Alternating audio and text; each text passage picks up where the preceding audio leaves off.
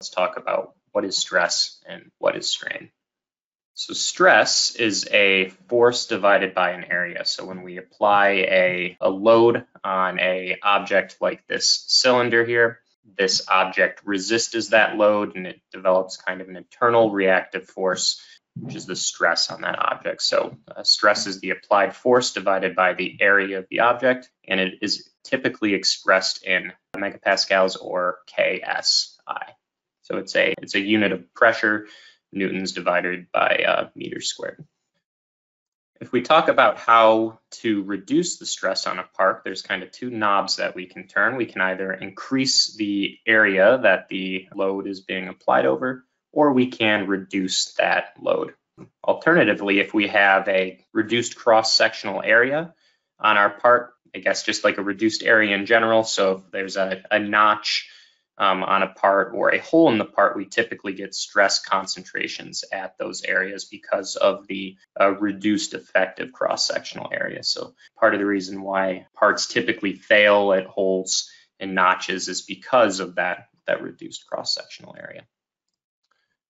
Strain is a, I guess, the change in length over the original length of the part. So when I apply some load to this bar, the bar will deform and the change in length divided by the uh, original length is the strain on the part.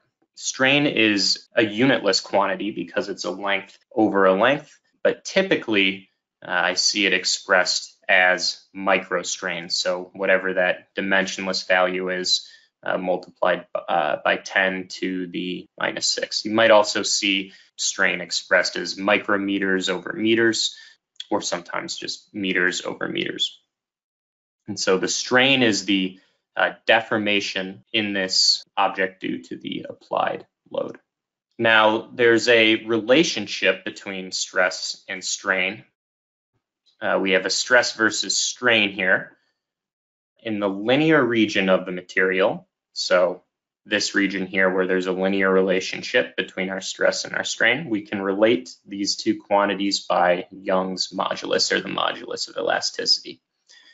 So until we reach kind of this point here in our stress versus strain curve, we're in the linear region of the material. So after we remove an applied load, the uh, material will return to its original shape. There will be no permanent deformation in the material. But once we move beyond this point, we enter the plastic region of the material, and there will be some permanent deformation.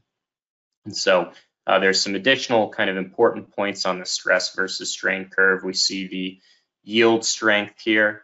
Uh, we see the ultimate strength of the material, and eventually that material will uh, fracture and break. And so uh, kind of a typical test used to develop these stress versus strain curves is a tensile test. You see one here where there's a load being applied to this bar. Uh, the bar is deforming. It begins necking in the center region here.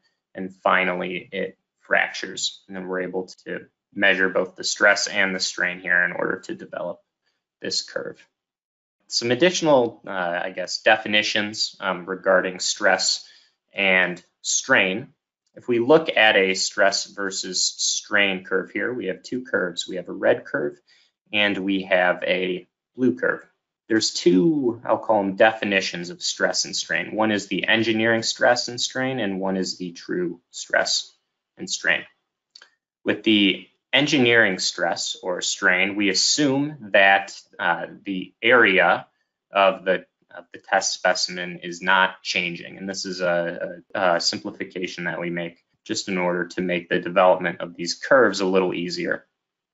And as you can see, the red curve has a lower, uh, generally lower stress magnitude than the blue curve.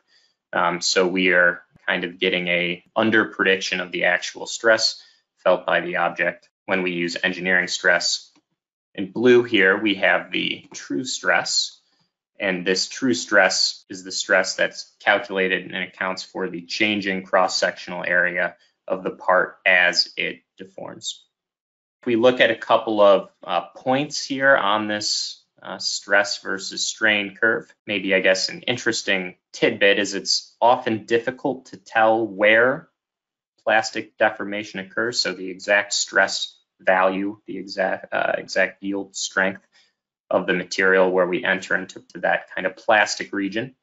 And so a common convention for determining the yield strength of a material is we use a 0.2% strain offset. So you know, we load the material, we measure the stress and the strain, we unload the material, and when we uh, uh, unload the material, we expect it to uh, return to its original shape or length.